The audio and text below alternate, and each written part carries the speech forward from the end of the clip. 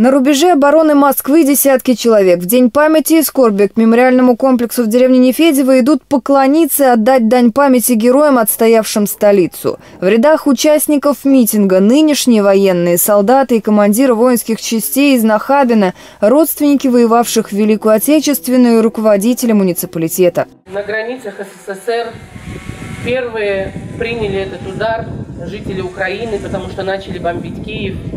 Потом была Брестская крепость, подвиг защитников которой навсегда войдет в аналы военной истории и станет примером беззаветного служения своей стране, своей родине, защите своего самого близкого, родного, дорогого, своих домов, своей страны, своих любимых, близких.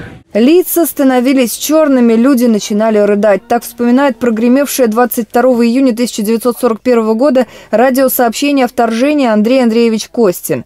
Один из участников Великой Отечественной, живущих в муниципалитете, сегодня он нашел силы прийти на митинг, чтобы принять участие в сборе горсти памяти, земли с воинского захоронения для одноименной всероссийской акции. Свидетелей войны, участников боевых действий в городском округе осталось всего 90 место. В память о почивших к мемориалу военнослужащие 45-й отдельной гвардейской инженерной бригады возложили венки. Участники митинга украсили братскую могилу живыми цветами.